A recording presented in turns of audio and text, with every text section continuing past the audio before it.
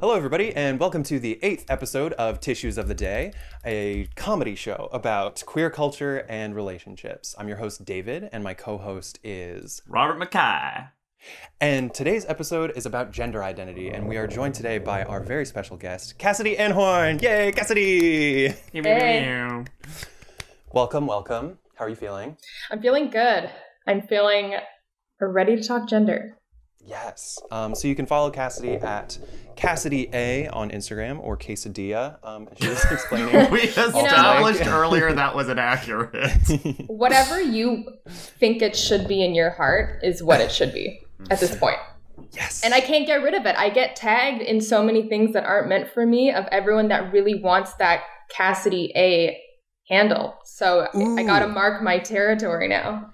Yeah, yeah, that's fair. I I think I might make a video at some point about like all the David Borjas in the world that are on social media and like what happens if you look up David Borja because it's like a very common name in South America. Um, Robert, have you ever come across people with your exact name? you know what? I really didn't until I went to Scotland. And Oh. you know, that's that's because like the majority of my life I felt like a generic white Canadian until I went to Scotland. I was like, oh, I do have heritage. And there's a actual knitting company called Robert Mackie. And back in university, I remember when I, we were like building our portfolio websites and everything, and I was like, oh, robertmackie.com is available. I should buy it. And I didn't. I held off till the end of the year. And then that freaking knitting company bought it. So whenever somebody goes to what they think is my URL, it's a knitting company. Aw. I, I don't think anyone is named Cassidy Anhorn except for me. Like it's a weird name. But there's nice. lots of like I get invitations on Facebook for like Anhorn groups, and then it always is just like the tackiest, like all those like you know posts with the sweatshirts that are like I'm an Anhorn, like shut up, you know what I mean? that you can like custom All the. Anhorns are wearing sweaters, and they're Yeah. like, "I'm an Anhorn, you're an Anhorn." Shut up, we're Anhorns. Um, that's like uh that's like Miley Cyrus. I, I feel like I heard once that Billy Ray Cyrus was like, I want a child whose name returns zero Google results, and so that's what he did.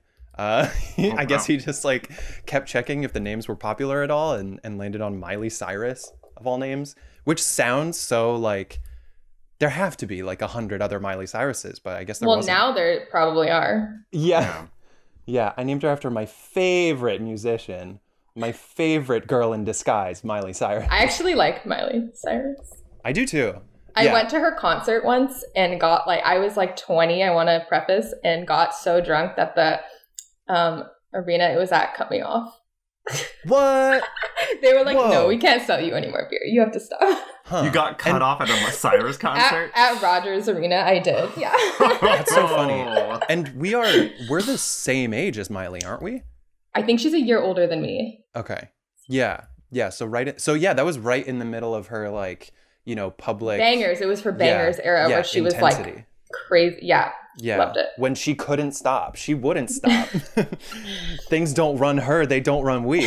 I feel like you're saying lyrics and I can't relate because I'm oh. old. She's Yeah. for every age. Oh, She- every you age. know. you. But yeah, now she's totally transitioned to like less. I don't know. It's like less intense music, but it's still fun. It's still good. Yeah. Um, so we're gonna jump into our very first segment of the show. This is our rapid fire questions. Cassidy, Okay. are you ready to be in the hot seat? I'm ready. Okay, so you can answer yes, no, or either or. They're very simple questions. And Okay. Robert and I are gonna take turns asking. Okay, here we go. Ready for this? Country or city? City. Miley Cyrus or Billie Billie Irish? Eilish. Oh my god, Miley Cyrus. I don't I don't know Billie I feel too old for Billie Eilish. I don't know anything except for that bad guy song. Um, slap or punch someone? Slap. Pie or cake? Cake. I hate pie. Are you a listener or a talker? Talker. Do you prefer a dance club or a pub? Now that I'm older, a pub. Vanilla or chocolate? Both? Oof. Probably chocolate. You have to pick one, yeah. Chocolate. Nights in, nights out. I'm gonna say nights out now just because of quarantine. I want to go out. Um, what do you wish you could do more of? Comedy. Mm-hmm. Performing. Drama or comedy? Comedy. Uh, what's what do you hope to get out of this this podcast? Um, socialization. Please, someone talk to me. Uh, one-on-one or a group of people? Group of people. Are you a backseat driver? Yes. I get complaints. Would you talk to your family about sex? Oh, no. I feel like they've kind of talked to me about, like, my dad told me about going to a porn theater once or something, and I was like, what? That's an appropriate response. I have never reciprocated. okay, okay, here's one then. Porn theater or live sex show? Um, I mean, without saying too much, technically, I have been to a sex event, Ooh. But I didn't participate. This is actually a really funny story. I don't know if we have time for this tangent. You can cut Yeah, it out. do it. You can This is cut a it out transition. if you want because it, it involves a past guest, Jennifer Perrin. oh my you had god! on the Bum, bum, bum. podcast. Crossover, crossover. crossover. Okay, so this was like a few years ago before I met my current girlfriend, Sasha. And we were at the Queer Prov holiday Christmas party, and we were all just having like a nice dinner. And then somehow someone told me that there was an event called Babe Bang happening that night, and it's like a uh like woman cis trans like all inclusive sex party basically. And i'm i don't know i'd never been to one but i was like oh i'm kind of curious. And then jennifer perrin was like i'll go. And we had never really talked or hung out. Like i was very newly on queer prov. Like i didn't really know her that well but i was like you know what i'm in like a yes to anything mood right now so we show up she's wearing this like red christmas sweater i'm wearing like a turtleneck and we walk in, but it's like two in the morning at this part. So we get in, and the person at the door is like, "Hey, you don't really, you can pay like half price because everyone's kind of like wrapping up." And we're like, "Okay." And so the two of us like walk in, but we walk right into the like BDSM room and are just seeing people being like electrocuted and flogged. and the two of us are just like, "Okay." And we're I'm like a turtleneck, just like watching this. you could have been more prudish in that room. exactly. I looked like I was like, but I mean, I and I'm not a prude with that kind of stuff. I think it was just like the fact that I'm with this person on my improv team that I don't really know, and I'm like so sober. I was like stone cold sober, and then we like um walked through the house, really nice house, but then everyone was like tired, like they had been having sex. They were all tired, so no one wanted anything. So I basically just like watched some like I didn't watch, but you know, I like saw some people have sex, and then they, and then I couldn't even try to make a move or talk to anyone because they were all like, "We're going home." Yeah. And yeah. so then we kind of hung around for like an hour, and then we're like, "Well, this was weird. No one did anything." We just like sat in a corner at one point and just had a conversation, and then we just like went home. Please tell me one of you was wearing like on your Christmas sweater the like Christmas bell, so that as you walk through the BDSM rooms, you're the like the person who's like ding ding ding. ding I think ding, Jennifer's shirt had like some like Santa thing on it. Like I don't nice. it was really really funny. It was so funny. Just- we felt yeah. so out of place. yeah, you hope it would at least say like ho ho ho, like have something related to the sex party, but it was just nope. It was a red and green sweater. Yeah, yeah. Good times. That's awesome. Um, so why don't we just transition into the um, next segment? For so sure. this is the uh, just our long form discussion. Like I said at the top, this is a chat about. As I hit my microphone, this is a chat about gender identity. And uh, Cassidy, uh, before we even get into the deep questions, how do you identify? Um, right. I use she, her pronouns, and I am a, a cis woman. And I identify, I suppose, to be more specific, as a femme ish lesbian slash queer person. Cool. Um, so I believe you're our first like strict lesbian on the show. Have you ever have you ever been with a guy? You don't have to answer if you don't want. Um, I mean, let me see. Do I want to answer? Yeah, I don't really care. Um, I I haven't. Uh, I like kind of dated this guy for like two weeks in high school, and then he broke up with me because I only wanted to talk to him on Facebook Messenger, and I never Okay. wanted to meet in real life. Aw. And then he broke up with me, and I was like, okay, like, and zero. I was not affected. I was whatever. like, that's cool, man. And then yeah, I kind of never looked back after that. Nice. You're not alone. Nice. I I mean the first woman I would have possibly ever been with was the point at which I realized I needed to date men because the idea freaked me out so much. Yeah. Uh, so like I might have slept with a woman, but it, it was like it was a night of inebriation and so if it took that much to make me realize Yeah. to date men, you, you know. Yeah. Yeah, that's fair. I mean, there really is something to those like horrible drunken nights where you like you regret the evening, but you're like, I never want to do that again, or I learned a very important lesson about myself, Mhm. you know? Um, so, all right. So, our first deep question uh, What has been the biggest lesson for you in regards to gender identity, Cassidy? I think the biggest lesson for me is just like as a I guess lesbian queer woman, I thought that when I was like a teenager, I didn't have any sort of concept about what it meant to be that or what it looked like. And obviously now I know it looks like anything. Anyone could be like there's no look for it. But I seriously thought in high school that all lesbians were super butch. Because Mm. I just had no, and like this may sound stupid to like any younger people listening to this because they have so much representation. And now representation on TV is all like mostly super femme, which is also problematic in, in the same Mm. way. But Mm. um, I actually had no concept that you could look however you wanted to. So when I was kind of realizing I was gay in, I would say like the 10th grade, I was like, but I have long hair and like, I don't, you know, I, I don't want to like wear cargo shorts. Because also Mm. the only lesbian I knew was my earth science teacher who wore cargo shorts and had like the spiky hair and like she was awesome. But so I think the biggest lesson I learned is getting older and being like, oh, you can actually look like anything.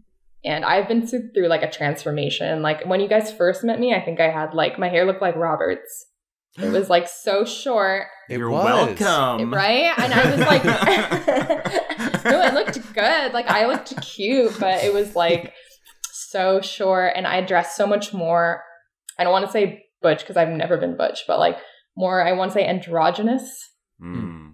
and I was kind of, which was also legitimate, but I think I, as I get older, I'm more like, I just don't care as much, and I'm like, yeah, if I want to paint my nails and have long hair, that doesn't mean anything. Yeah. And Mhm. yeah, Mhm. I've just been more comfortable with like presenting how I want and not having to like perform into a role of like what society expects me to look like as a queer person. To like, I because I feel like I'm just doing it so that like straight people can identify me as such. Because I hate when I meet someone that's straight and they're like, "You're gay," and it's like this like shocking thing to them. Mm, mm. That really annoys me, and I but I also want to push back and be like, we can look like absolutely anything. We're everywhere. Yeah. Yeah. Can It's- I pull on so the true. point of androgyny? Mhm. I think that's a really interesting one.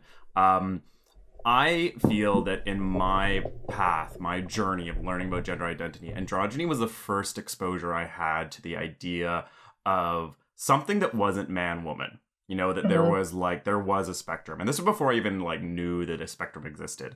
And I, in part of my sexual uh, unveiling, discovery of myself, um, had The recent one or like the first one? yeah, name it. There's dozens. Uh, no, just kind of like those teen years going into college years.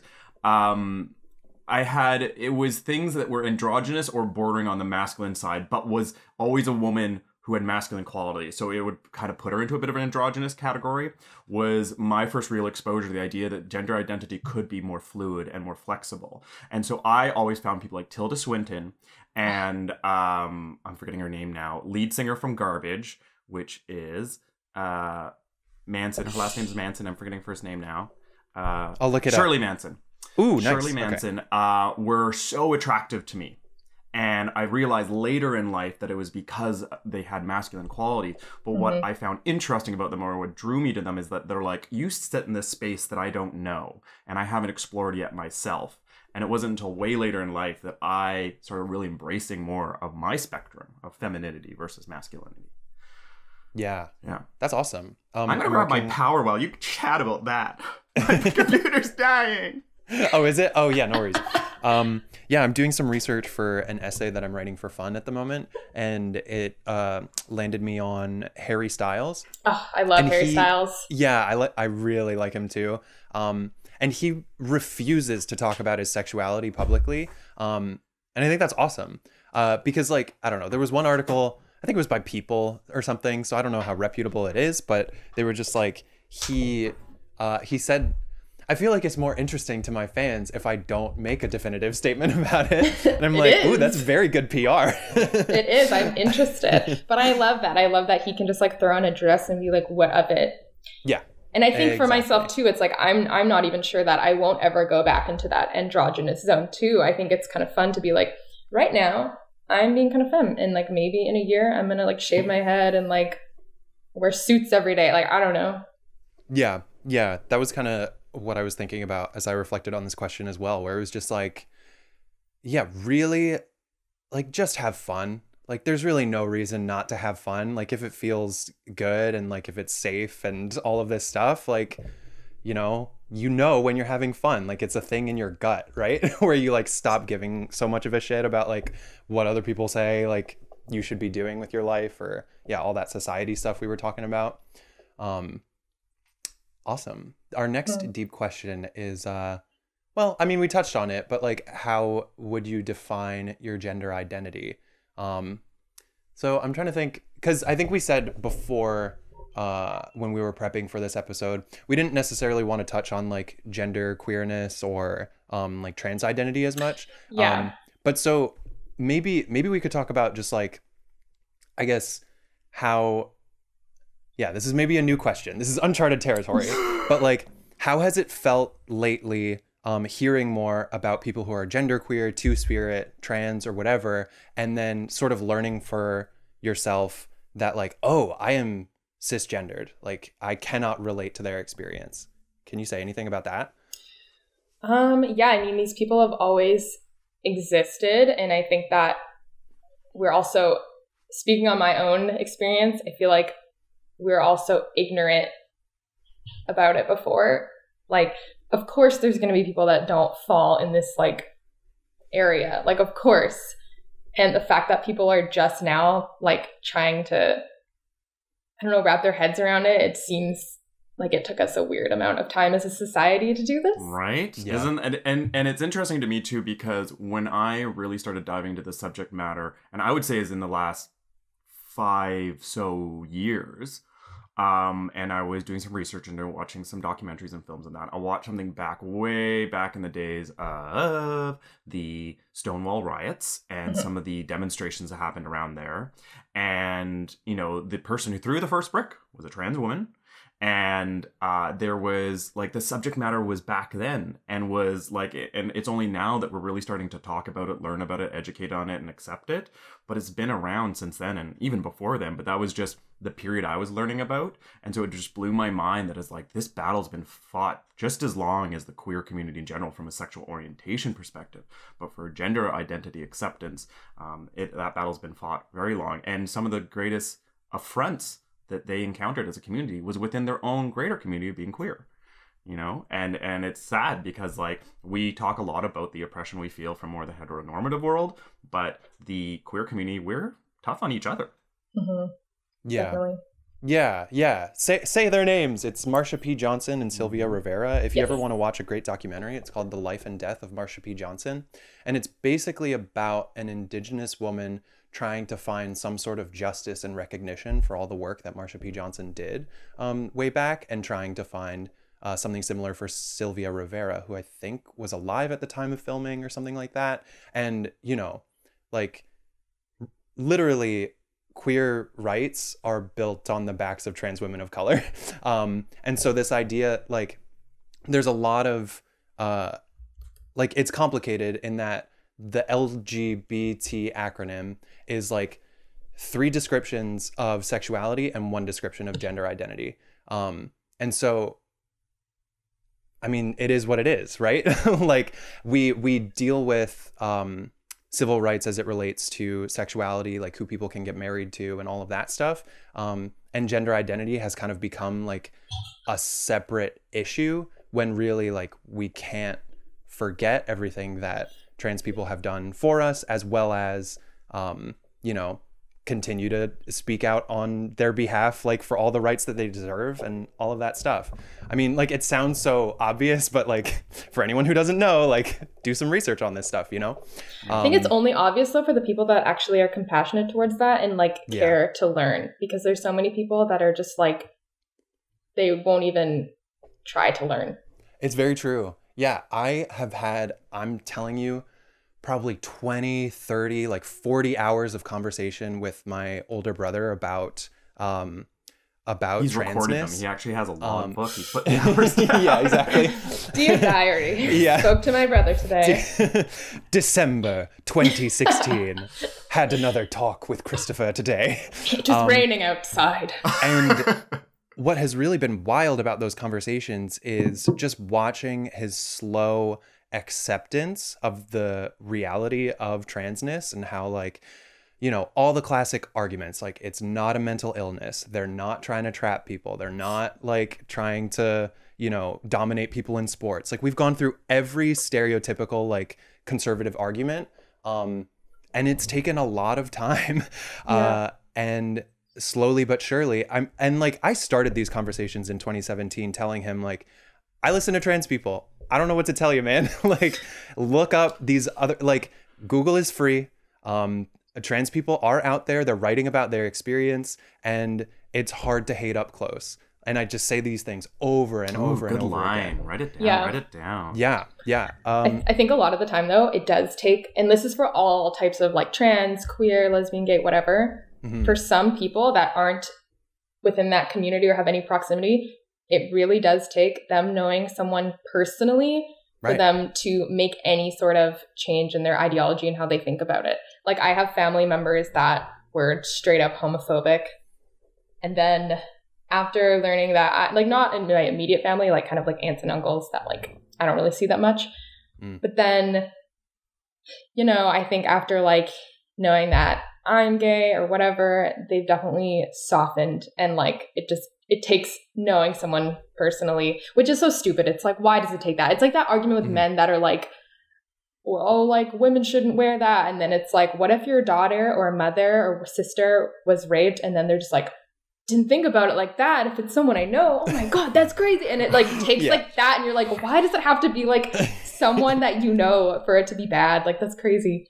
I, Yeah. And let's highlight the fact that we're talking to three queer individuals here, and so obviously, like we we have a different perspective. Like I think of this almost like in the world of you know, or the path of life where you're learning. It's almost like walking down this hall, and there's these series of doors that represent the various topics. And I think as like queer people, we we enter into a lot more of these topics, right? We at, least open the door and talk about a little bit. We may not actually enter into that room, but we at least open it along. Whereas I think a lot of people who don't have the impetus opportunity to do so they'll just keep on walking. They'll walk right past that door.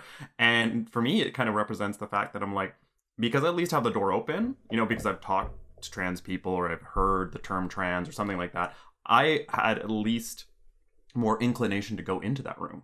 Whereas like where you talk to some people who haven't even opened the door well they're just like well i don't I don't want to put in the energy to turn that knob and pull that door and go in, you know, like it, it is a like extra level of effort for them. And my example um was sort of God, this is weird. Like my parents, um, is like you know I was lucky, very liberal. I had a good coming out, um, but they weren't exposed to this sort of subject matter. And I remember one Christmas, it was um, there was a visitor who was going to come over, and my mom said, "Just like you know this this person is visiting. It's my friend's daughter, and she identifies with they them. So you know, like make sure to use it." And I was like, oh, "Okay, fine." It was just like nothing to me. But then there was something that was said that I was like, "Uh oh, red flag." My mom was like, I don't totally understand. It's like, oh no, here we go. it's like, Yeah. She's Yeah, like, she was here just like, comes. she's like, I understand how people need to love who they want to love and, and sleep with them. She's like, I don't understand why people are play, you know, like playing with or choosing to change, you know, who they are and things like that. It's like, Ugh. I was like, all right, this cannot be an awkward Christmas dinner like many of our other Christmas dinners. I'm gonna sit down and I took like it was my dad, my mom, and my uncle and did like just a 20 minute rundown of sort of you know the separation between sexual orientation and gender identity. And just that little conversation like opened up a door for them. And they're like oh! Because they really just didn't see this segmentation between the two. And they didn't understand it. Yeah, I was actually talking with my masseuse about this because they use they them pronouns. And um, they're really great. And we were talking about uh, like pronouns and pronoun usage, and we're just like, you know, if you have a dog and someone misgenders your dog, straight people are like, "That's a she." Like if you say like he, you know, they get so mad about like if you misgender their dog, and it's like if you can learn all these dogs quote unquote genders, then you can respect like a human's pronouns. that's so interesting Yeah. It's so it's clearly just like a stubbornness of like that. It's nothing to do with the fact that they can't possibly learn to use a different pronoun.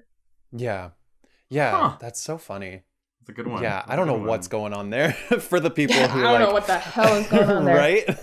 For the people who are adamant about their dog being correct and then uh, they're like, Ugh. yeah, but you know, people they're just they're disposable. like, it's like what? Babies.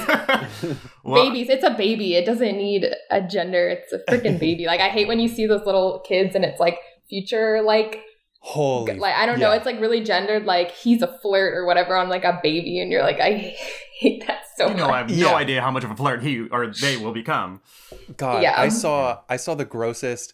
I mean, because you know, over the end, the grossest baby.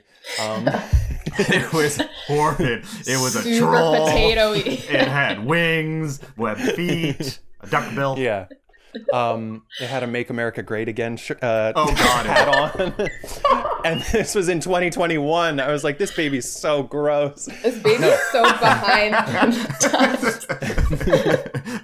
No, no, no. I saw Got a pro-life this sign. was in the late summer when there was uh, w- a wildfire related to a gender reveal party, like Oh, that whole God, yeah. nonsense.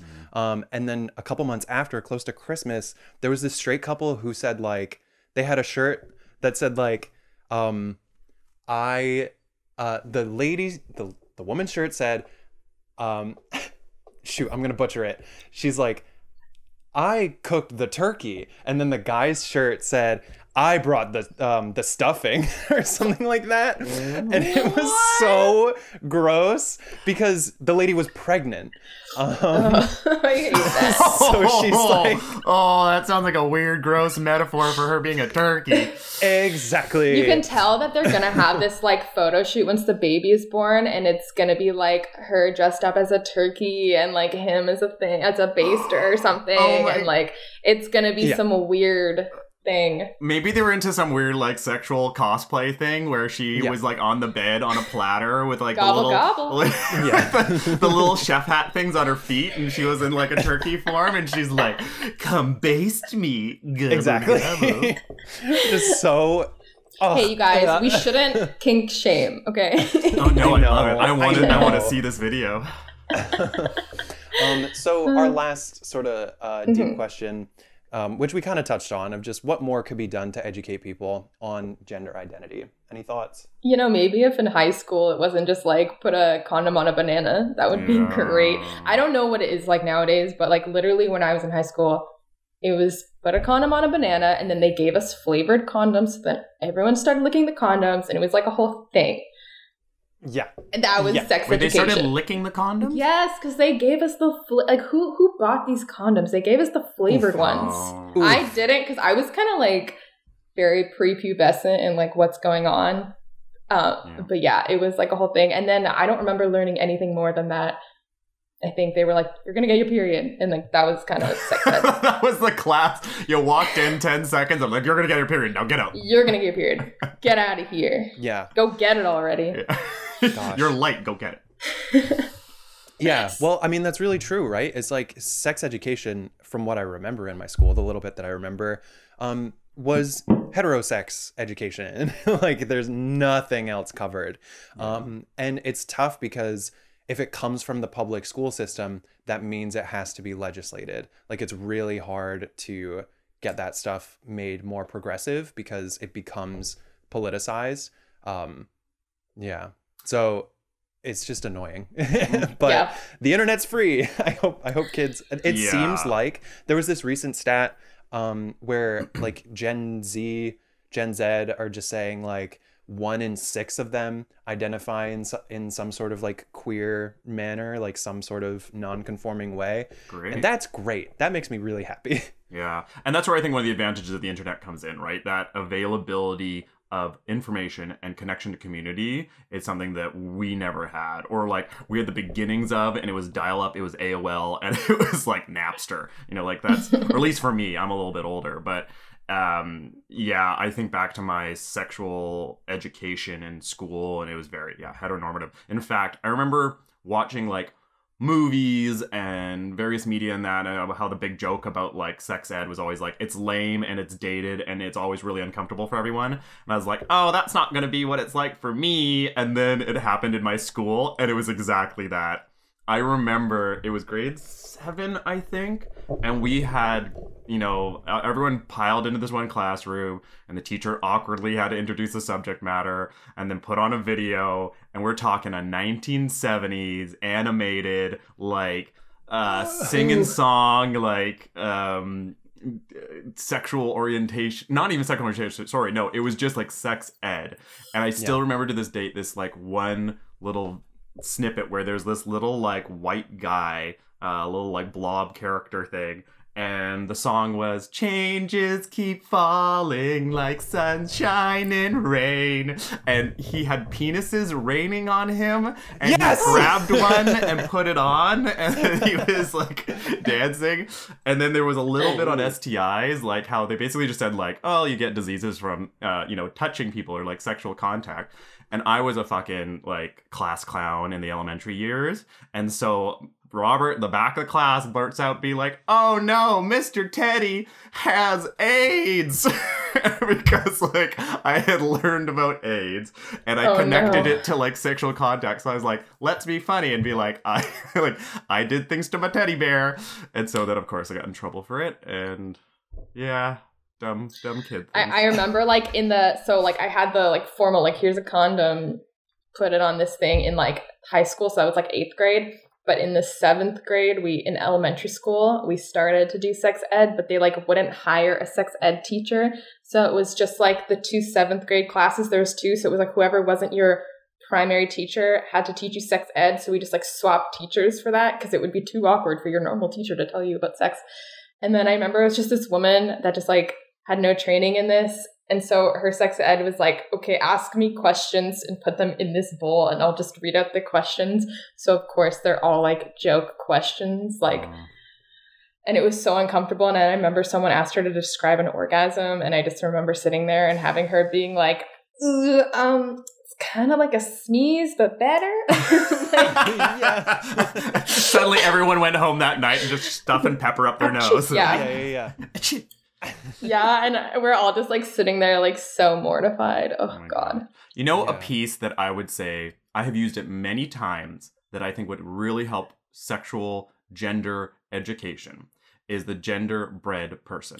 Yes. Look up this little diagram. It's an amazing, it's like there's multiple versions of it, but it's essentially a diagram that break down the fact, like stuff, and I've only learned about this stuff again, learning through my trans friends in the trans community in the last five years, the breakdown of gender identity versus sexual orientation versus gender expression, and the fact that within like the um, uh, attraction part, there's romantic attraction and sexual attraction, and it made so much sense. It suddenly explained why you can have people who like I'm sexually attracted to men and women, but I only want to have romantic relationships with men or women, and or it's like I'm a you know cis straight man who's attracted to women and sexually attracted to women, but I love to gender express feminine.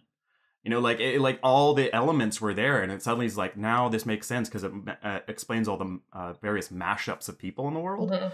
and I think that alone would help kids in the education system better understand the fact that there's like there is gender identity, there is sexual Totally. orientation, and you can have a blend of them, and there's a spectrum within each. Yeah. I, I, I saw that in first year university, but it was taught to us by my, I was in like the queer club there, and then they brought it up, and I was like, oh yeah, this is so great. Why isn't like everyone seeing this? Yeah. But I am happy for, I don't know if to say Gen Z or Gen Z, because I'm in Canada, but Yeah. Gen Z, I don't know. Um, they have like you know TikTok. I I'm not on TikTok, but I feel like it's so educational for them in that perspective. And then, like I said earlier, how a lot of the times for some people, it just takes them having like a personal connection to something or someone for them to finally understand that it's normal and whatever. And so I feel like that could help. You know, you can see someone's life on social media to an extent and to see Yeah. that and see all these people representing themselves in different ways. Mm. Yeah, one hundred percent. I debate. Um, I mean, I'm on TikTok every once in a while, and I debate whether I want to do more posts like this. But on there, there was some, you know, teenager who was maybe like between the age of like 14 and 16, and it just sort of showed up randomly, and he just had a bunch of questions related to like tops and bottoms and masculinity and femininity and all this stuff, and I was just like. Do is is it appropriate for me to say anything about this? Um, and I sort of resolved to myself, I was like, I'm, I'm going to do it. I'm going to give it a try. I'm going to try to be respectful and like professional and all of this stuff and not be creepy because I didn't want to come off as creepy. Um, and yeah, basically just like laid out a whole bunch of answers to these questions he was worrying about because it's all the typical, you know, self exploration and identity questions teenagers have, but like through that queer lens. Um, and uh, then he responded and he was like, This is so helpful. Thank you. And I was like, Yes. Like I just felt sweet. so like accomplished for, you know, not weirding out this kid and hopefully giving him some perspective, like 10 years or 12 years older than he is. Um, so that was super fun. So uh, we are now sort of getting close to wrapping up the show with uh, with our game, with the fun of the show. Yay! Uh, so we wanted to play uh, an improvised game called Foley Artist, which we did with Renee in the past. Um, Cassidy is an improviser and stand-up comedian, so I'm sure she'll have plenty of fun. Um, now, the way we were thinking of doing this is Robert and I can do a scene, and Cassidy can provide sound effects, unless by any chance Cassidy wants to be in a scene. What do you think? I'm fine with either. Okay, cool. I can do whatever. Okay, cool. Then would you kindly do sound effects for us? I can do sound effects. Okay, so you are welcome to use any objects. You can use your mouth. You can use, I don't know, anything, really anything. it generates noise, vibration. in the air. yeah, to make these sounds. Um, yeah, and we're just gonna we're just gonna go for it. Do so you need a topic for? yes, yes. Would you would you kindly um any any random word, any random word that comes to Apple. mind? Apple. Okay. This is Foley Artist, inspired by Apple. In three, two, one.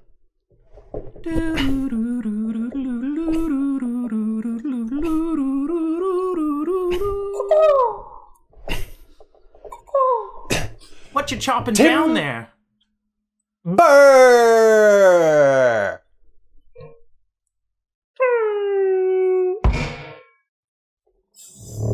Wow. I'm sick of seeing this apple tree in our in our uh, farm, Timothy. Wow, Jimmy, you chopped down the old apple tree. That Yeah. was Grandpa's favorite. He's gonna be sure mad. Well, that's his problem, and he's dead. We were supposed to keep that thing in his honor. What are you doing, Jimmy? Everyone It's in the time. neighbor- To, it's time to let bygones be bygones, Timothy. We can't keep just keep this ugly ass tree in the yard. Oh no, there's somebody under the tree and the drowning. Oh my god! Oh my god! Di- oh, Timothy! Timothy! Ryan, Help me! Help me! Oh my Help me! gosh. Push the tree! It's Marshall, the little boy from across the street. Marshall! Why were you standing under the tree? Didn't you hear me yell timber? he can't Marshall? speak. We've crushed his windpipe. Oh, oh no! He's gone into a high-pitched whine. That means he's close to death. Ah, d- do you know CPR, Timothy? Uh, I learned a little something on uh, uh, our first CPR class back in, in the grade schools. Do it, do it, do it! Try something! right. We're losing him! One, two, Boom, three. boom, boom, I hear a beat. I hear a beat. boom, It sound it sounds like his heart. boom. Oh gosh, okay. It's getting faster. It's getting faster. Oh Oh no! I think I pushed too hard. Oh no. Oh, Marshall! Marshall! Marshall! First we lose Grandpa, then we lose Marshall. We I What was I thinking? Cutting down this tree only brings misfortune to us. Jimmy, it's the curse. It's the curse of the tree. It's Grandpa coming back to wreak his havoc. Listen, Uh-oh. in the wind. Do you hear it? Uh-oh. Do you hear it, Jimmy? Uh-huh. It's the winds of Grandpa. Oh. Oh my. I'm It's- old. Oh my. Oh, it smells just like him. Oh yes, no. mothballs and Jimmy Bean. It was the dog. Oh, and he ah. always blamed the dog. Do you remember that, Jimmy? Always Classic blamed it all on Grandpa. Rover. Grandpa.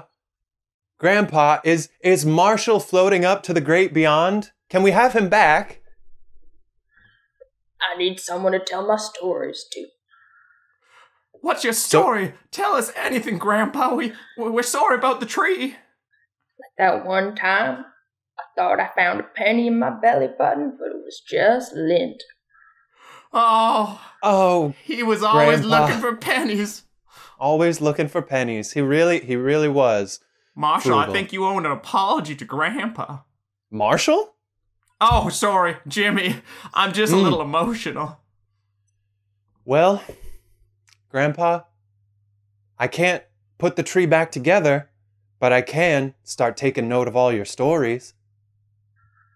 Please write them down word for word, I will. especially the one about the time I thought I saw a goose, but it was just a piece of dust that got in my eyeball. Do you remember that one, Jimmy? I'm gonna leave you to tell that story. It was a humdinger. I'll tell it. I'll get started on publishing now.